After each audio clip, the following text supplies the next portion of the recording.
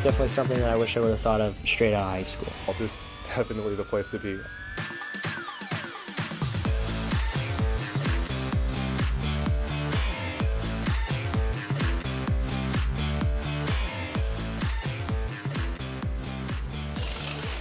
Well, when I was thinking about what school to go to and what I wanted to do, um, I knew I wanted to get into the automotive industry. I've always been passionate about vehicles.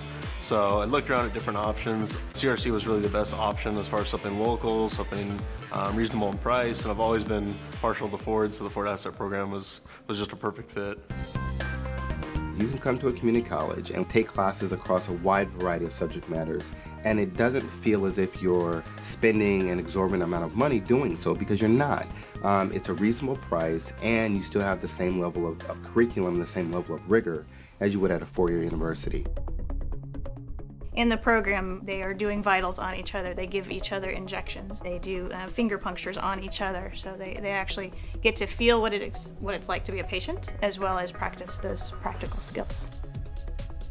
We have a kennel on campus and that we have real veterinarians who are teaching us. It just makes it a better experience and I feel like after two years when I'm out in the veterinary world, I'll be as prepared as I can be.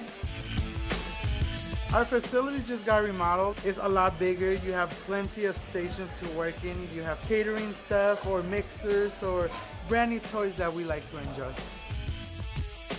The, uh, the facilities and everything here that we have um, available to us is state of the art. It's, it's the best of the best.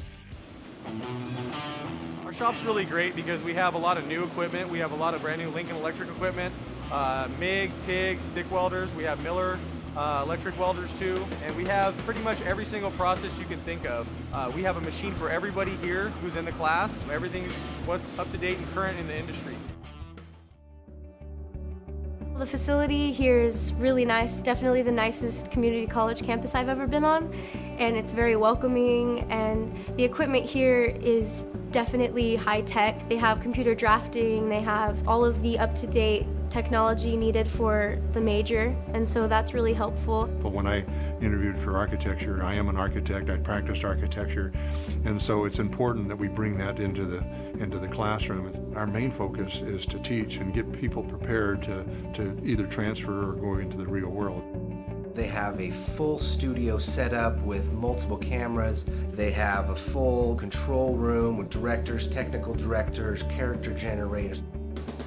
My instructor, he uh, pushed me towards a uh, internship with a local radio station, and that has turned into an actual job offer from another radio station. But uh, without him, I, I wouldn't have I wouldn't have been able to make it because he's he's shown me the right way to go and all the steps to take. Once they get into the internship, each student would work a 24-hour shift once a week, and they alternate between working on a fire engine one week, and the next week they work on a 911 ambulance. And then from there, they will receive their State of California Firefighter 1 certificate. We're one of only three programs in California that offers that. There's no program like that as far as the training you get, the amount of training you get, and the certifications and uh, instructors are awesome. If you're still under the um, idea that you're not quite sure what you want to do when you are a professional, what you would like to do for a living, then community colleges and programs that we offer are the best possible answer for you. You can really explore the world right in your own backyard.